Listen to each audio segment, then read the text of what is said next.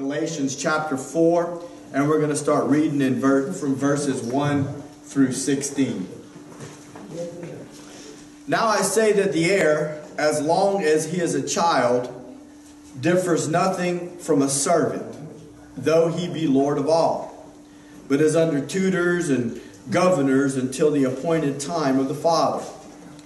Even so, we, when we were children, were in bondage under the elements of the world.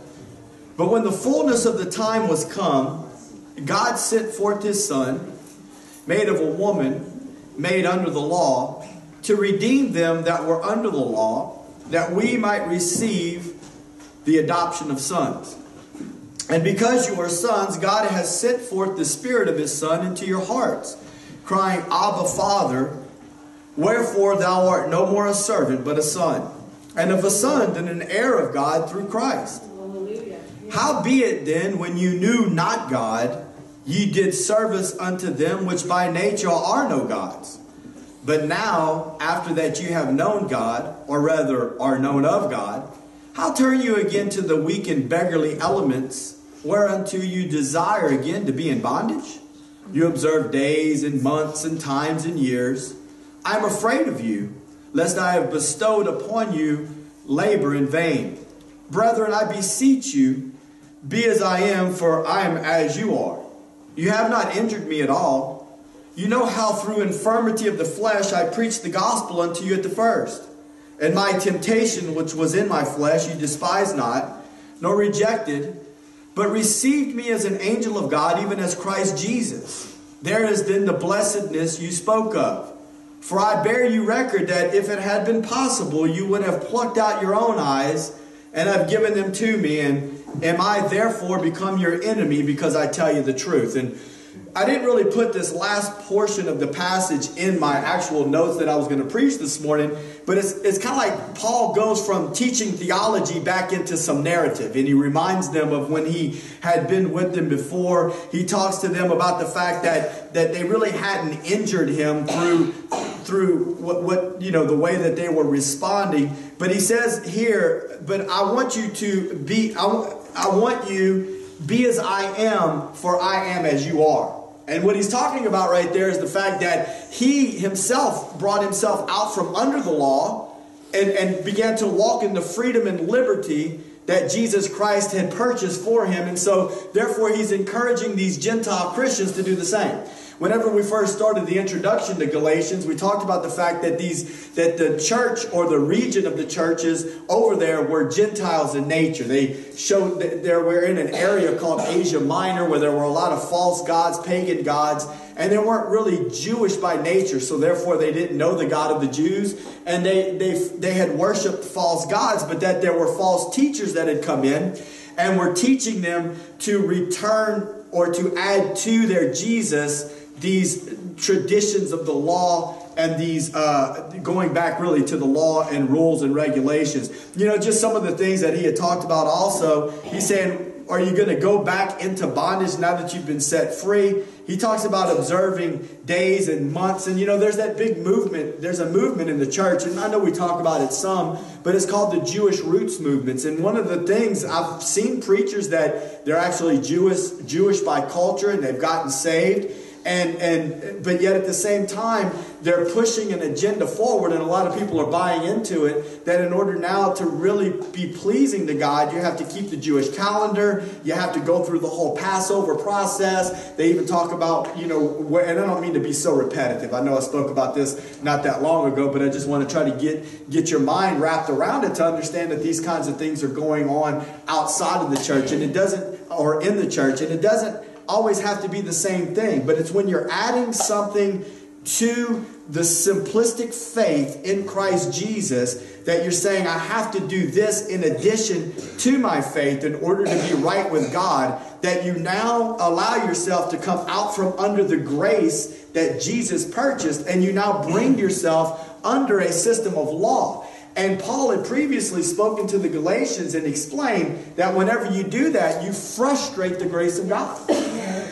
You know, people many times think, oh, uh, you know, whenever somebody sins or gets caught in sin or whatever the case that they talk about the fact, oh, that person fell from grace. No the truth is is that when a person fails God or falls into sin, that's the perfect time to fall into grace, Amen. not fall out of grace. Amen. And that's what grace is for. The grace of the Lord sets us free. Amen. The grace Amen. of the Lord through true repentance forgives us of our sin. When we fall out of grace is when we're trying to approach God through a different method, when we're trying to approach God through our own works and performance. And so many times we don't even recognize it that way, but false religion is always built on, on a works based, performance based program. Anytime you want to look for a cult, anytime you want to look for false religion, all you have to do is see what the emphasis of the message surrounds. Listen to me. And, and I'm just telling you right now, I mean, I'm not going to sit here and list them all off, but, but they're there. And uh, so I wanted you to, you know, I wanted to just bring that up to you. But uh, he talked about them observing these days and months. He said, You're not, you didn't injure me. I want you to be like I am. I came out from under law. But then he says, when I first came and preached the gospel to you, and he talked about the fact that he, he said that, uh, that they, they didn't reject him and that he came to them and he preached the gospel to them in infirmity. I just think this is an interesting note. If you don't really read the background context, you may not get it. But in that last paragraph, when he says, You know how through infirmity of the flesh I preached the gospel unto you at the first, and my temptation which was in my flesh. So that language there sometimes can be a little bit difficult to understand, but he's but that word temptation really could be translated trial. The trial that was in my flesh. He's saying, when I came to you the first time and preached to you, I was infirmed. Physically in my body, I had an illness. Then he goes on later to talk about the fact that you would have plucked your eyes out for me. And so many scholars, we don't really know exactly what it was that was going on with the Apostle Paul, at least the first time that he went to Galatia. But many scholars believe that there was some type of an eye condition that was going on that really would have probably made him come across as a little bit unsightly there were a lot of different eye conditions that took place during this time frame that's well documented in secular literature. Some of it had to do with these eye mite things and i'm not trying to speculate what it was but it seems like there was something regarding the apostle paul's appearance that made him unsightly. But nevertheless the message that he preached when he publicly portrayed jesus christ as crucified before them was embraced by the people I think that there's a big, there's actually something to, to speak about in that, that like a lot of times, you know, we're, we're drawn to all the pretty folk, or we're drawn to what looks good, or we're, we're drawn to, to what makes us feel good, or what we determine, or in our minds is, is the right thing. But you know, whenever, whenever the, the Lord really moves upon our heart and he begins to, to deal with us at the, at the level, if we will allow him to, a lot, a lot of that stuff starts getting corrected in our hearts and in our lives. That's what the message of the cross will do. It'll get down, get down to the pin, to the pinpoint of what's wrong with our hearts, right? The areas where we're arrogant, the areas where we're prideful, the areas where we think of ourselves. These are the secrets of our heart that nobody else really knows about. We know about them because we carry them around with us right? But uh, but God God's wanting everybody to be able to be ministered to, Amen. And He's not wanting us to pick and choose. I mean, even the Lord Himself talked about that. This wasn't a big part of my message, but since we're here, let's talk about it. The Lord Himself said it. He says, you know, many of you want to sit in Moses' seat, like in other words, in the temple, their area, there was a seat. It seemed like it was elevated and, and, and, and what's called Moses' seat. And so people that wanted respect, sometimes they find themselves sitting in that seat. They wanted to elevate themselves. They talk about if somebody comes into your congregation and one person has, the Lord said that, and one person's got tattered and torn clothes, and then another guy comes in with this pretty ring and these nice garments on, you, you want to receive the one with the pretty garments and the pretty ring.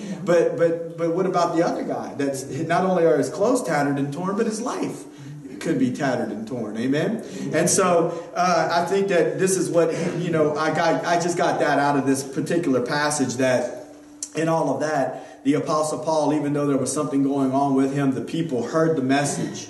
Amen. And they responded in it, and it humbled their heart.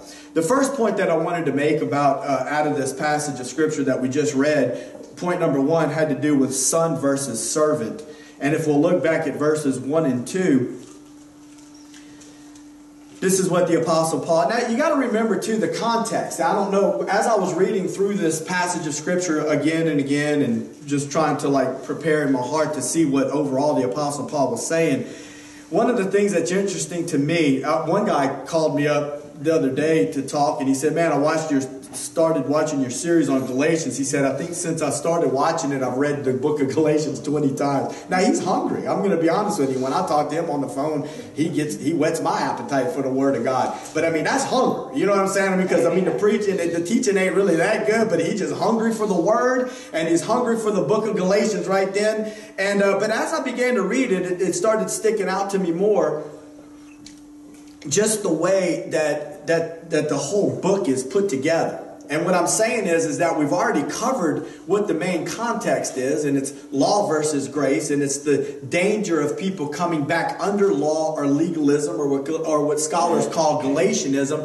But as you go through the book, you see that Paul uses various analogies to go back and illustrate the main concept and concern that he has. And so in this six chapter book, or whatever the case, he repetitively goes back and he just re illustrates time and again. Now, what that tells me is, is that if the Lord, because sometimes, especially in this church, it's like, golly, dude, you're going to preach again on works versus grace. Well, as many times as God keeps bringing the subject back to us, it's obviously very important. Amen. And there's a possibility that even some of us who feel as though we got something figured out might find ourselves slipping back into a works based or thinking more highly of ourselves than what we ought, or whatever the danger is that God's trying to warn His people about, that we have to make sure that we're ready, amen, and that we're seeing things the right way. So, so once again, you got to remember that the underlying context regarding what we're talking about this morning has a lot to do with the law. Okay?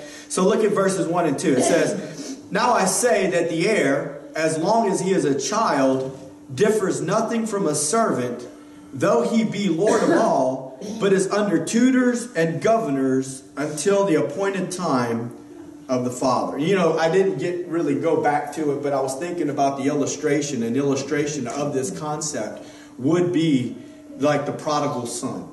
You remember the story of the prodigal son whenever he and his brother uh, were together living under the house of their father. And the prodigal, he's like, I want my stuff now. I want to get my inheritance now because I got some living that I want to do, right? And the Bible teaches us that, that the father went ahead and he distributed the inheritances, and the young man took off and he went to go for lack of better words, what we'd say in modern English vernacular, he went to go sow his oats. He went to go do the Amish thing, whatever it is that they do, if you ever saw any of that kind of show. But so, so he started living crazy. He spent his money on prostitutes. He spent his money, and next thing you know, he didn't have anything left to do. I mean, he, he had just drained everything, and he was left in shambles. And it had gotten so bad that he had actually allowed himself to come under the employment, really a form of slavery, if you will, to somebody that was raising pigs, hogs.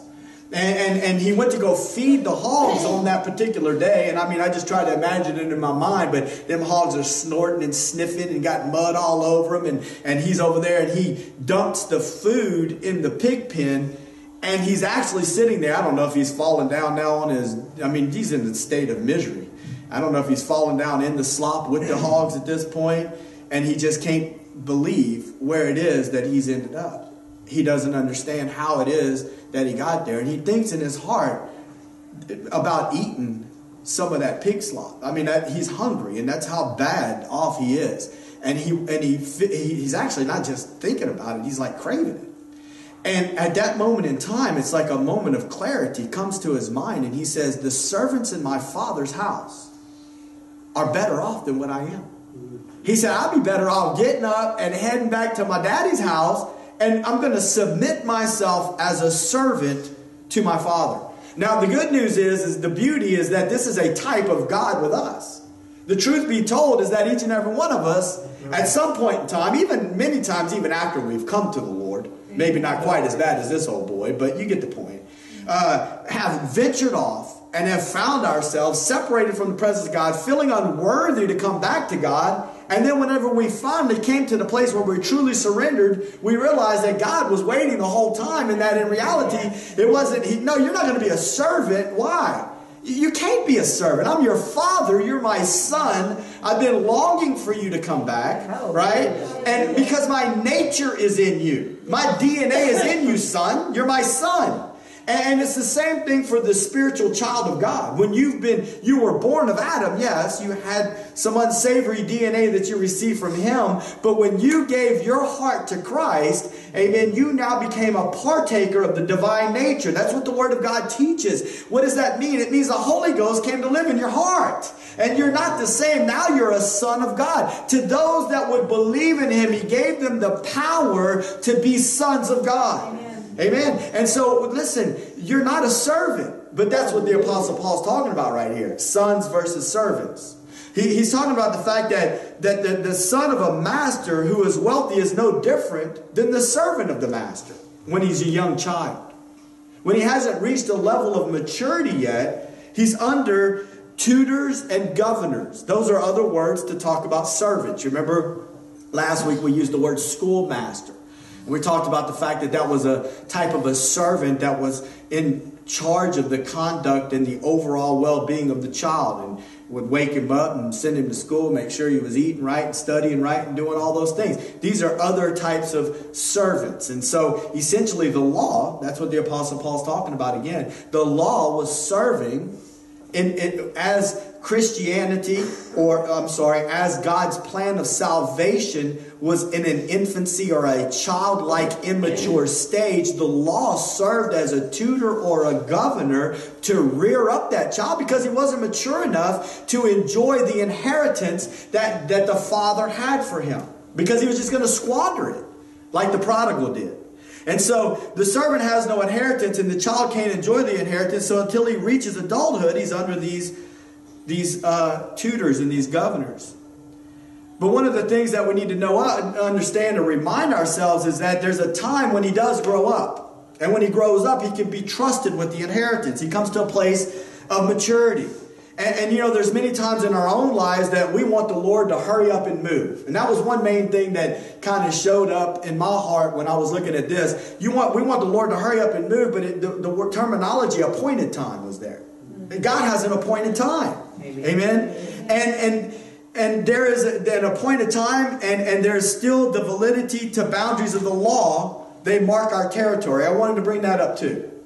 That sometimes when we look at the law, we, we only look at it in a negative sense. And God's law did provide some things. Now, listen, I'm not going to sit here and tell you, I'm just trying to bring balance to the message, is all I'm trying to do. God's law gave certain boundaries and tells you a red flag. It's got certain territories. But God's plan is not for us to live according to the law, right? He wants us to live according to grace. Because the Holy Spirit really wants to be your compass.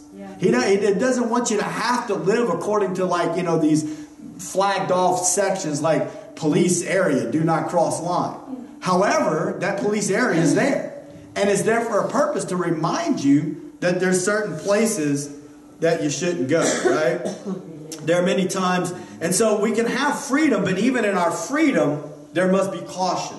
So that's really what we're talking about here. The servant, he doesn't really have a lot of freedom. He's under law. He's still immature as a child. The Apostle Paul saying it's time to grow up and to begin to understand how to properly walk with the Lord, right?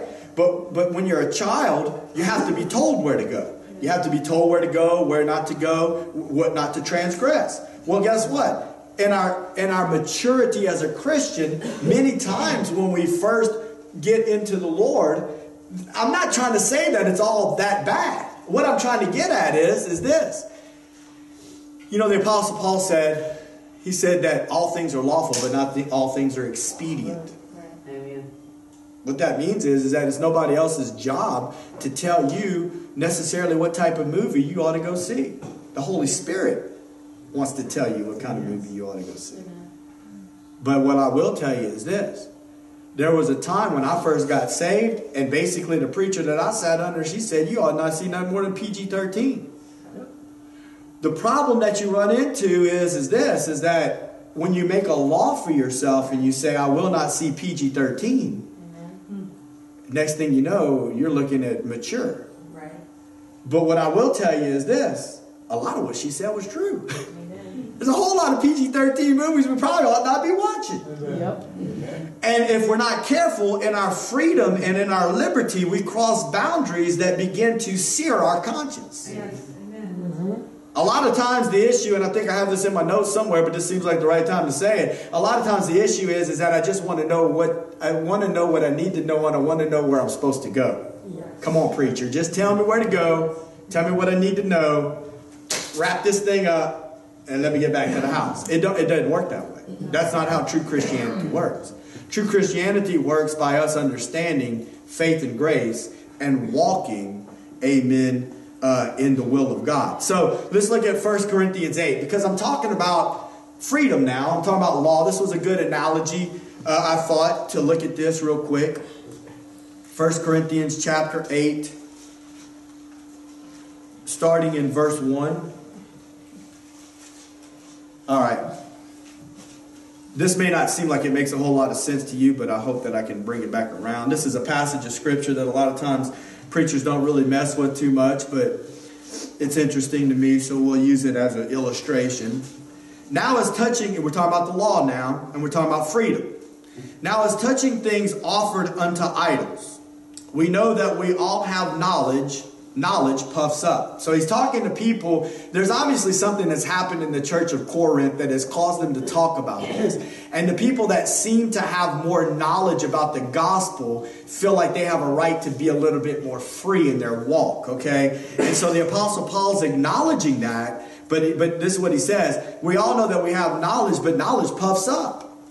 But charity edifies. So what he's trying to say is you might have a whole lot of knowledge, but if you're not careful, your knowledge is going to make you prideful. And if your knowledge isn't mixed with love from the Lord, you're, you're, you're, you're, not, you're not going to be edifying or building up the body of Christ and helping the people around you. He says, if any man thinks that he knows anything, he knows nothing yet as he ought to know. But if any man loves God, the same is known of him. As concerning, therefore, the eating of those things that are offered in sacrifice unto idols, we know that an idol is nothing in the world. That would have been the argument of these knowledgeable Christians. They would have said, false gods aren't even real. What's, what's, the, what's the issue here? I got the freedom to eat whatever it is that I want to eat. And we'll get into that a little bit more to explain it. He says, as uh, concerning those things that are offered in sacrifice unto idols, we know that an idol is nothing in the world and that there is none other God but one. For though there be that are called gods, whether in heaven or in earth, as there be many gods and lords many, but to us there is but one God, the Father, of whom are all things, and we in him, and one Lord Jesus Christ, by whom all things, and we by him. Howbeit there is not in every man that knowledge. For some with conscience of the idol unto this hour eat it as a thing offered unto an idol, and their conscience being weak is defiled. But meat commendeth us not to God. For neither if we eat are we the better, neither if we eat not are we the worse. But take heed lest by any means this liberty of yours become a stumbling block to them that are weak. For if any man see thee which has knowledge sit at meat in the idol's temple, shall not the conscience of him which is weak be emboldened to eat those things which are offered to idols? And through thy knowledge shall the weak brother perish, for whom Christ died.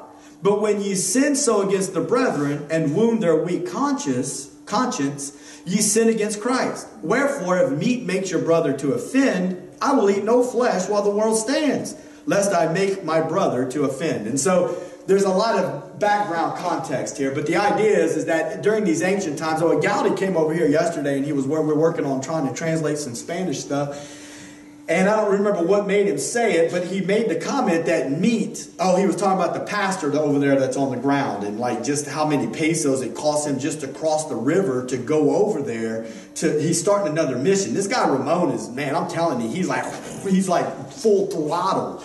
Uh, the ministry's blowing up over there, okay? But it, it costs money, right? And so anyway, but he, he talked about the fact that meat is very expensive over there. And, and, and I said, I guess that's why there's a whole lot of arroz and frijoles, beans and rice, because not everybody can afford meat. And that's kind of what the context is here. A lot of these lower level Christians in the past had never were not able to eat meat on a regular basis. And they would have these pagan festivals where they would dish out meat, and during these festivals, everybody was able to eat meat. But they would offer up meat to the idols, and it was a form of worship. They still kind of do that stuff today in the occult. The pagans, I've talked to some people in the conversation, and they'll lay hands on that goat, then they roast it and they eat it, and they think that they're taking demons into themselves. And that kind of like the same thing that was going on then. But what the knowledgeable Christians were saying, or the more probably aristocratic or richer Christians were saying, is listen, false gods are false gods. They're not even real. So we can eat meat and we don't have to stress about all of that. And the Apostle Paul was saying there is a certain level to what you're saying that's true. False gods are false gods, but he goes on to explain elsewhere that you can't, if you knowingly know that the meat was offered up to worship the devil, you can't eat at the table of demons. But if you don't know whether or not the meat was, don't stress about it because you're not serving false gods. And so I guess that you and I can extrapolate some of that stuff into our own lives. That crosses over into our own lives because when we begin to walk in the freedom and liberty, see, we're talking about going from a servant to a son and the liberty that Christ brings and the fact that the Holy Spirit begins to minister to our hearts and shows us things that are right versus things that are wrong. We need less boundaries. We need less rules to govern us. And now the Holy Spirit desires to govern us.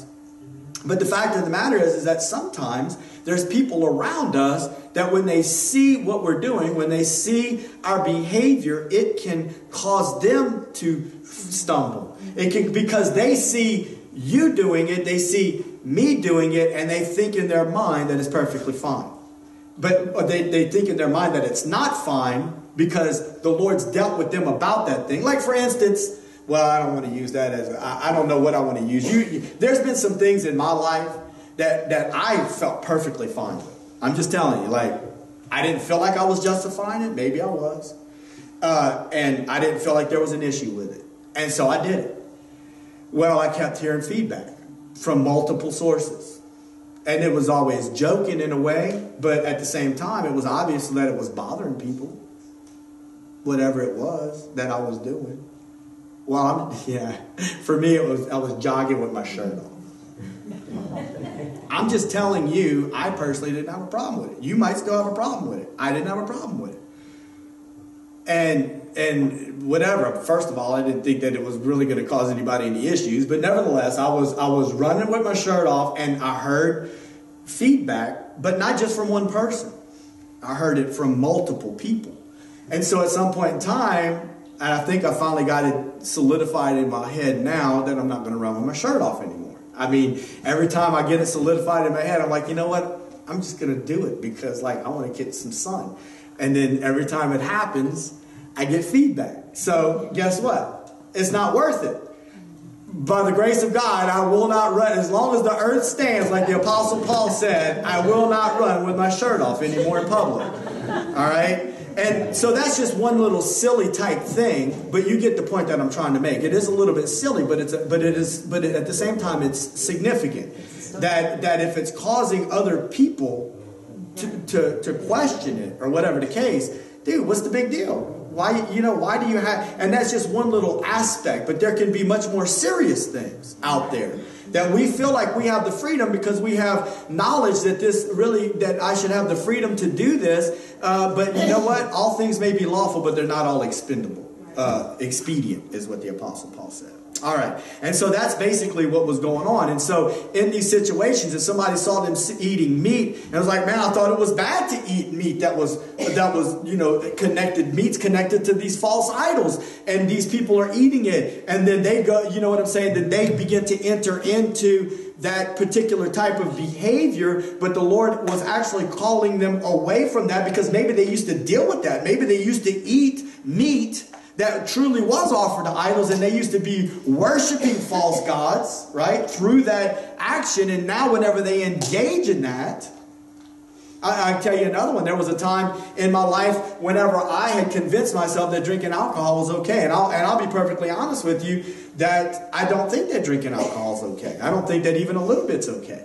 I think that we can really break it down and and discuss it in a lot, you know, uh, in detail, but I don't really want to do that. I'm just telling you from my personal life. When I first got saved, the Holy Spirit, remember how I told you, there's boundaries and police tape that says don't cross this line. And that's how most people preached alcohol in the churches that I went to, yep.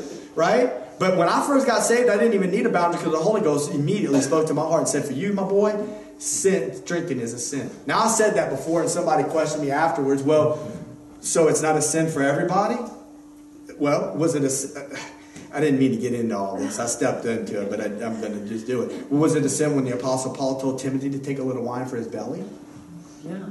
See what I'm saying? You can't just sit here if you want to really exegete the scriptures. Now, the point being is this, is that the wine that Paul was telling Timothy to take was much different than the wine. It, they would cut it three parts to one, and not only that, many times it wasn't as fermented at the time. I can tell you this right now, the Apostle Paul was not telling Timothy to get drunk. Because right. drunkenness is a sin.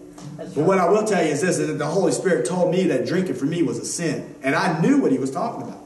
But then I would see a scripture where Paul told Timothy to take a little wine for his belly, and I'm thinking, well, things are a little different for me now. I might be able to take a little wine for my belly. And the next thing you know, it ain't just a little wine for my belly, it's a lot of wine for my head. And the things aren't right. And when I get a lot of wine in me, or not even really a lot, just a little bit, I don't act like a Christian. That was what the Lord was trying to reveal to me from the get go when the Holy Spirit began to talk to me. Because when I drink wine, my inhibitions go way down. And not only do I start looking and thinking about stuff I not look and think about, I start being willing to try stuff or to go back to stuff that I had gotten away from. And so many times it's just a simple door that the enemy uses to open up. So not only that, but you add to it the fact that somebody sees you doing that. That's right. The whole thing, you know, I don't think that just because I'm running without a shirt on that a whole bunch of women in the church are going to want to start running around with their shirt off. But somebody sees you drinking and they're thinking, oh, I guess I can do that. That happened to me. That, that happened to me, and I've probably shared that story before when I used to go to the other church. And, and I was in my little liberty stage. I get a little wine from my belly.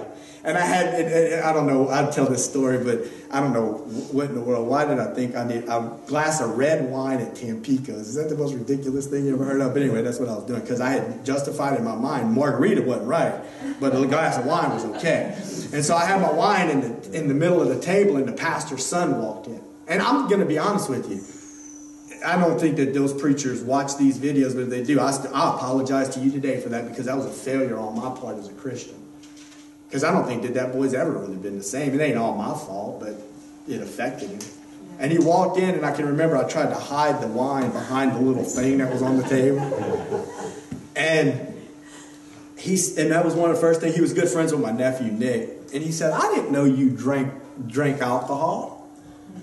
And you know, his his mom was very uh, gracious whenever, but she brought correction in my life. You know, she used that scripture about the weaker brother and, and all of that kind of thing there. I didn't mean to spend this much time on that, but I'm just trying to explain the difference between the, the police tape that says do not cross this boundary versus the Holy Spirit if we're listening to Him, speaking to our heart, and telling us not to go to a certain place because He knows the damage that those things can cause to us, right? That's right.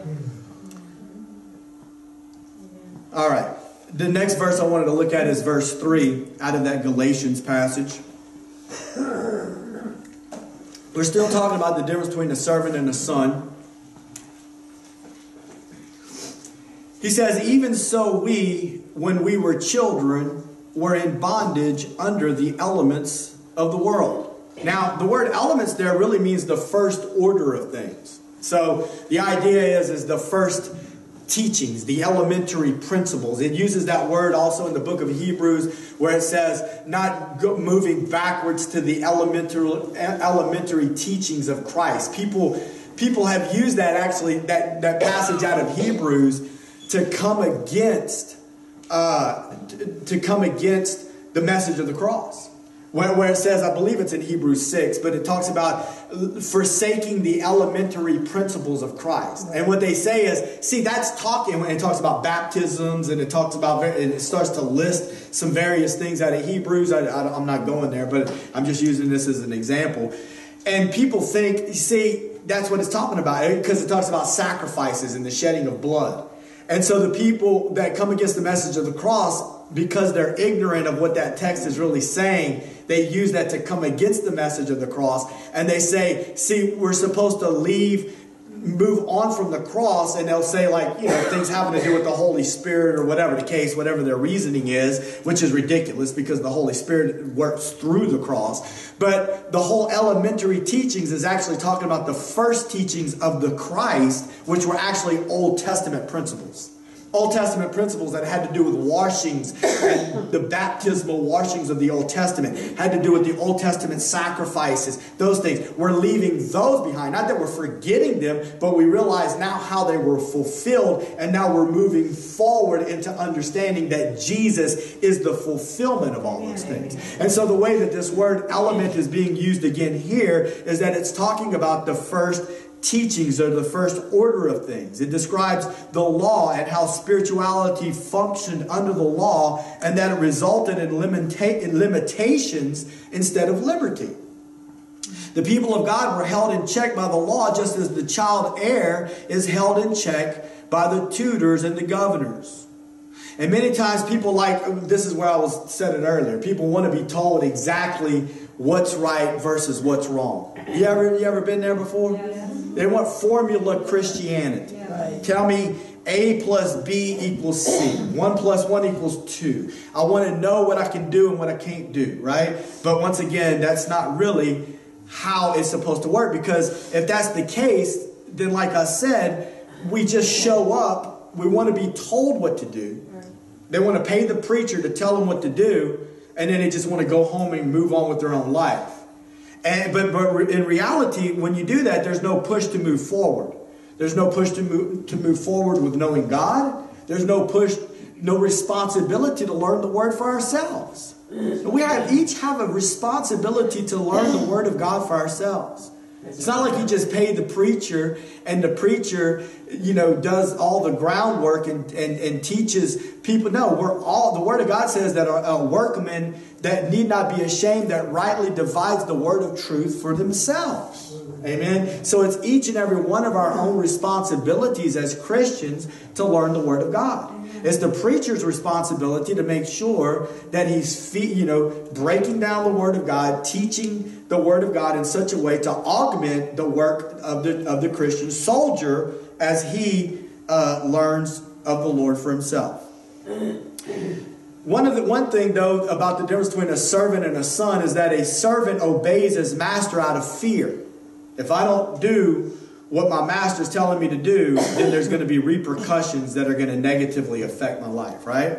But a son of a good father obeys his father out of love. And I put the word good father in there because a lot of times we didn't really have good fathers. You know, I'm just being honest. I mean, uh, whatever the case, our upbringing and how our parents treated us can skew our understanding of the Lord. We begin to see God through the eyes of the way our parents treated us. And we begin, I don't know about you, but we will reject authority. I mean, I had a major problem with authority as a, as a young man growing up. I can remember being a Christian and really loving God and just sitting like in the parking lot I don't remember what it was about. I was probably about 19, 20, giving my heart to the Lord. God had really done a work in my life, but I still had this, I hate to admit it, this pig mentality. I'm, if there's any policemen in the crowd, I don't know if we have any policemen. But that's what I used to think about policemen. Because that's what I had been trained up to think in my mind regarding authority in my life, and I was constantly breaking the law, and so I looked at them at the end as the enemy. And even now that I've given my heart to the Lord, I'm sitting in a car and this policeman knocks on the window, and I can remember I rolled it down about that much. What's up? And he's wanting to tell, and, and, I just wasn't scared of the police, even still at this point in time. Now I have a healthy reverence for the police because, to be honest with you, I got a lot to lose now if I don't have to act like a fool. But at that time, I didn't have nothing to lose. And I'd been arrested multiple times and beat up by policemen before, and so none of that really bothered me. I'm like, what's up, dude? What you got? You know? Well, the, the problem, that's I don't really know why I went off on that other than to say we can have a problem with authority in general. Yeah. And and sometimes the way that our parents treated us, our father treated, but that's not how the father is. Mm-hmm. That, that's not how God is. Amen. He's not trying to beat us up and, and be that, but many times people even preach that way. When you have a law preacher, and listen to me, I'm not talking about he's preaching the Mosaic law, I'm talking about he's preaching rules and regulations. You're going to wear your clothes and they're going to look like this. You're going to wear your hair, it's going to look like this. Women aren't going to do this. Men aren't going to do this. And you're going to live like this. And I'm thinking to myself, hold on a second, Hoss. The Holy Spirit, you're, you're going to have a hard time proving any of what you're talking about from the scriptures to number one. But number two, it's the Holy Spirit that's supposed to be speaking to the heart of the people. And true Christianity is supposed to be a situation where the man from the pulpit doesn't dictate holiness to the, into the pew, but the Holy Spirit in our hearts begins begins to re- begins to show us what it is that God wants from us. Each and every one of our lives. Amen. So a servant obeys his master out of fear, but a son of a good father obeys his father out of love.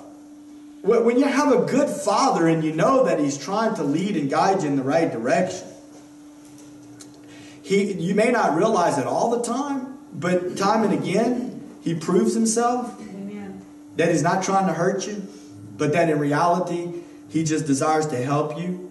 You know, and that is one of the, undoubtedly one of the most beautiful things about the message of the cross, at least to me. That when we begin to experience the liberty and freedom that comes from God's truth, we begin to experience and understand God's love at a whole nother level. I can't even really describe, I don't know how to really describe this other than to, to kind of like tell you from experience what it feels like. And those of you that have experienced it, you know what I'm talking about. I don't want to get ahead of myself, but if you've ever lived in bondage, even as a Christian, and then you began to understand the message of the cross and the grace that flows from that, and how, how easy the victory comes from the work of the Holy Spirit whenever that revelation comes and, and it begins to work in your life, it's the most amazing thing.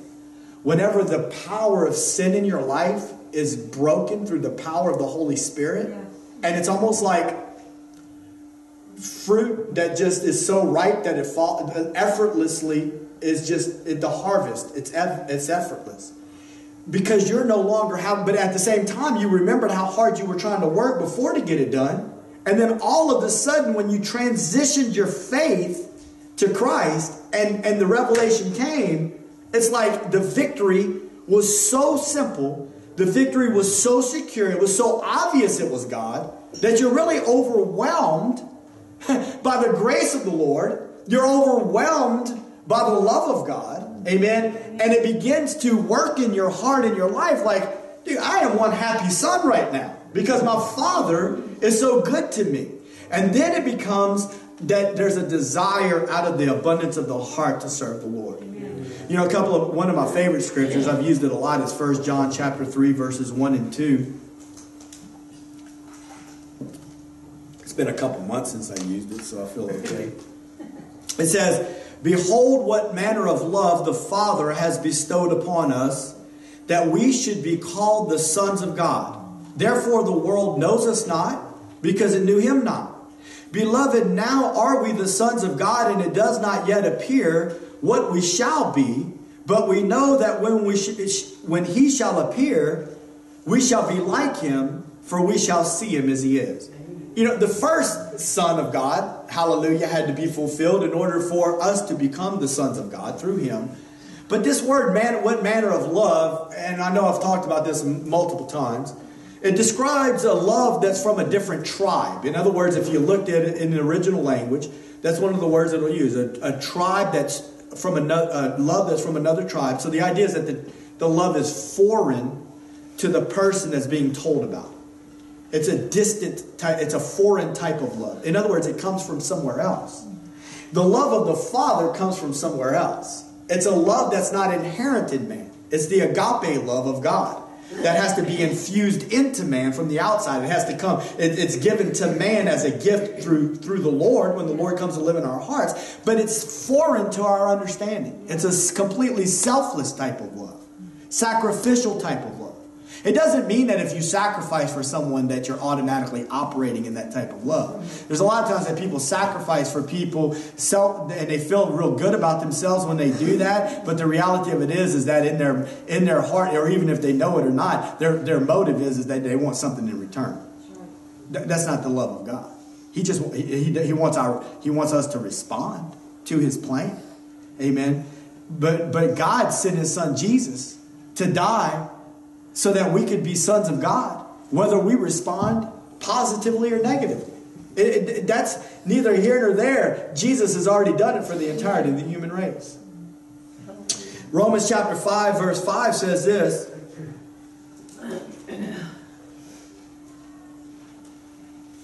And hope makes not ashamed because the love of God is shed abroad in our hearts by the Holy Ghost, which is given unto us. We're talking about the difference between a son and a servant. A servant, out of fear, obeys his father. A son, out of love, obeys his father. You know, this hope right here is talking to coming on the heels when we first were talking about Romans a while back, where it says, Therefore, being justified by faith, we have peace with God. We have access into this grace in which we stand. He says, We glory in the hope of God, but not only that, we glory in tribulation because tribulation produces patience. Amen. And, uh, and which it means endurance. And, and, and endurance produces character in the life of the believer. And character produces hope. And so, and, and hope makes not ashamed because the love of God is shed abroad in our hearts. And so, even though we go through things in the midst of our life that are negative, and even though there's painful circumstances and situations that are happening in trial and tribulation, in the midst of it all, God wants to reveal the way His plan works to us. He justified us. What does that mean? He declared us as innocent because we put faith in Christ, which gave, which gave us access to grace. And grace flowing in our lives is strengthening us even in the midst of the trials that are going on in our lives. And whenever we make it through the trial, through the grace of the Lord, it gives us hope that God is who He says He is, that God can do what He says He can do, and that His Word is true. Amen. And then it increases our love for the Lord. Because the love of God is shed abroad in our hearts, we in turn desire to love our Father. Amen. There becomes a desire to love the Lord more and more, a desire to know His Word more and more, a desire to serve Him more and more. But as long as the Christian is being suffocated by rules and law, constantly facing the failure of his own performance, because listen to me, each and every one of us know that every time that we try to make rules and regulations for ourselves and try to make laws for ourselves, as well meaning and intended as they were, we failed them. Amen. That's why New Year, I don't, I'm telling you, I know I use this when I preach my New Year's message, but I wasn't stressed. I knew it was coming. Three days in the gym, because when I go to the gym, I just want to get out and get out. Get in, get out. And I'm like, okay, here we go. You know, people are like, oh man, they're going to be here soon. All the New Year's resolution folk. But they're not going to be there long. Because you can make all the plans that you want to make, and you can make all the rules on yourself that you want to, but inevitably, if you don't have the grace of the Lord strengthening you in a particular area, you're not going to be able to stick it out. I mean, the law, the gym analogy is the same uh, really a similar analogy that it is for the Christian life. I'm not going to do this anymore. I'm going to do this. And it lasts for a while. But if the grace of the Lord is not moving and operating in your life, you don't have the strength to stick to it. Next verse I wanted to talk about is verse 4. It says, Galatians chapter 4, verse 4. But when the fullness of time was come, God sent forth his Son, made of a woman, made under the law, to redeem them that were under the law, that we might receive, look at this, the adoption of sons. There's a lot of meaning in that term. We're going to look at it again. But here again, we see the importance of timing, right? It was always God's plan that he was going to send Jesus. But if you look at it on a worldwide stage or a salvation history time frame, it didn't happen right away. It didn't happen as soon as mankind wanted it to happen. And let me tell you why. Because God knew the perfect time to send Jesus. The time that He sent Jesus, and I've, I've talked about this a lot too, was that uh, people don't realize it. And I've used this one time when I was talking to a doctor that didn't believe in God, and I felt like the Lord, I like to talk about these kinds of things, like from a logical argument. We talked about Paul did that. The perfect timing that God would send Jesus Rome had built all of these roads in order to give people easy access Before that, Alexander the Great had conquered the civilized world or Western civilization and had caused everyone to learn the Greek language. So they were all writing and re- uh, reading and speaking one language. And there was a road system to get people where they needed to go. And right there in the middle of all that that's happening on the world stage, God allows Jesus to show up. That's just one aspect of the fullness of time. The world was logistically ready for the gospel to go forward at that point in time. God knows exactly what He's doing. Many times in our own lives, we're wanting God to hurry up and do something, but the truth is, is that He knows logistically where He needs to get us spiritually in order for Him to uh, uh, effect the most gain in the midst of our lives. Yes. Amen. Uh, sometimes we cry out, Lord, for quite some time before we actually see the victory that we want. It's not that the victory isn't secure, it's that the Lord uses time and circumstances as teaching tools in our lives. That, that, that's a whole lot to that. God uses time and circumstances to teach us things in our life. You know, the world wouldn't have known grace if it would have never known law. And we could never know freedom if we had never known bondage. And you can't really understand the concept of how the cross gives you access to grace if you've never attempted to live for God in your own strength and seen the failure that comes from that. But when you've experienced that for yourself, listen, I'm telling you right now, when you've experienced that for yourself, when you're trying, some most of the time when you try to talk to some people on a you know on the surface level about the Lord, about the message of the cross, when you start to understand it for yourself, when you really start to understand it, it's almost like people can't shut your lips. That's one of the ways you know you got a revelation of it is when you can't, people can't hardly shut your lips mm-hmm. because you, you feel like you got to talk to somebody about it. And when you start talking to people about it, a lot of times they act like they know what you're talking about. And the reality of it is, is that if you talk to them long enough, you, I'm not saying this condescending. That's not what I'm doing. I'm just being real with you. As a person that's talked to a whole lot of folk, they act like they know what, what you're talking about, but in reality, you know that they don't. But let that person experience their trial of faith as they continue on in their works based Christianity and continue to experience the failure that they do, and then to get the revelation of the cross and God doing it for them. And it's a completely different story. The point that I'm trying to make is until we tried it that way, how would have we ever known the other way? God knows it's in the fullness of time, both on the worldwide stage, but also in our individual lives. Amen.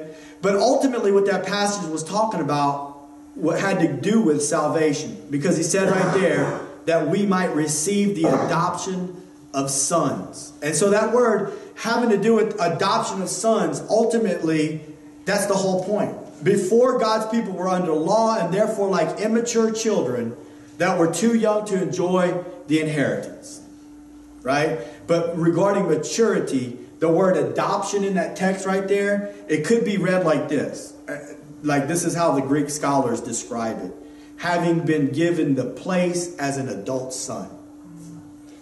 So really what the idea is is not like our form of adoption that we understand in America like, here's this little infant baby. We don't have children. We can't have children. So we're going through the adoption process to have a child for ourselves. No, the idea here is that you've been given the status of an adult son. Now you're prepared and you're ready. Your position is ready to receive the inheritance. That's what, when the time frame came, that the fullness of time came, God sent Jesus under the law. He was born of a woman, born under the law. Everyone will be judged according to the law if they're not judged according to the sacrifice of Jesus. That's the problem that mankind doesn't understand today. That's the issue when you talk to people on the outside who think that they're okay and that they're good enough that they don't understand. They're either going to be judged based upon Jesus' sacrifice for their sin or they're going to be judged based on their performance according to the law. And each and every person is guilty according to the law. And so therefore they will stand before God naked and they, and they will not have a case to plead. But in the fullness of time, God sent forth His Son that we might be adopted into the faith. Amen? It describes the fact that God's plan for His people is that they would grow into maturity at conversion. Our position is as a mature heir, but the condition of our heart has to be molded further. We don't have to turn there, but Romans 8 28 and 29 talks about being conformed into the image of Christ. When you get saved, you're already an adult son in Christ. You already have access to the inheritance of God. But your position is different than your condition. You're, even though God sees you as mature and all grown up because you have available to you everything that you need, you're still, we're still too young and immature at that point in time to be able to process all that, to understand where to put our faith, and there's a growing period. But Romans 8 talks about the fact that we're conformed. It means to be molded. Amen. The Holy Spirit molds us yeah. into the image of the Lord. Second thing I wanted to talk to you about is the inheritance starts now, but it doesn't end now. I don't think I'm going to get through this whole message, but we'll end with point number two. Verse 6 says, Because you are sons, God has sent forth the Spirit of His Son into your hearts, crying, Abba, Father. This is the beauty of conversion. This is the beauty of the fullness of time. This is the beauty of the new covenant. The Holy Spirit's not just on the outside looking to help from the outside, He's on the inside, living on the inside of us. And the word Abba, Father, in the, in the Greek or in the Aramaic, has the idea of Papa behind it. It describes an intimacy and closeness. Once again, if you weren't close to your daddy, it's hard for you to be able to wrap your mind around that, especially for a man. For a man who you were raised, if like for me, my understanding, I still deal with it. That's probably why the Lord really never gave me a son, was because He knew I'd probably mess him up, just like my dad was trying to mess me up. I've told you before, and I don't it is what it is. I honestly know that my dad loved me, but it was only because he let me blow my snot on his shirt one time. He never really told me that he loved me. He never really hugged me. You know, all I got was a whole bunch of verbal abuse, but I realized now that what he wanted was he wanted me to stand up, be a man, and in his own mindset, the way he was raised, that's how he did it. Kick him in the butt. Come on, boy, get up you know and and so that's how i was raised and and and that was my understanding i didn't understand papa i didn't understand abba father i didn't understand that you could run up to your daddy and hug him and hold him there's a there's a certain level of of intimacy connected to that and most of the time men never are able to enjoy that kind of a connection to their father because most men are are raised in such a way to look down on that. To, whenever you show that, that type of behavior, it's almost like it looks like a sign of weakness. If that makes sense. But to understand the love of the Lord, to have that closeness and that intimacy, that close relationship. Listen, I'm going to tell you right now, if you truly allow the Lord to work in your heart, your heart's going to get softer. Yes. And if you got a problem with a soft heart, then you probably ought to just shut it down. Because the Lord is going to soften your heart in some way, shape, or form. Amen? He's going to cause you to begin to realize when you're acting towards people and treating people improperly. But that's what another passage of scripture that talks about this that we use a lot is Ephesians 1 13 and 14. It talks about in whom you also trusted after you heard the word of truth, the gospel of your salvation, in whom also after you believed, you were sealed with that Holy Spirit of promise, which is the earnest of our inheritance, until the redemption of the purchased possession, unto the praise of his glory. When you first got saved, the Holy Spirit was a down payment. When you experienced that, if you got saved, you know what I'm talking about.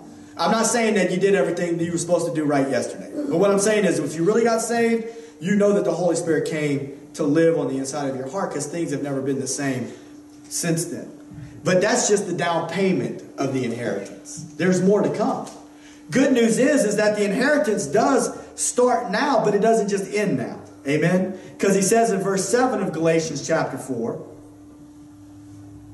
it says, And if a son, then an heir of God. Galatians chapter 4, verse 7, I think it's the last part of the verse. If a son, then an heir of God through Christ. You're no longer a servant, but a son.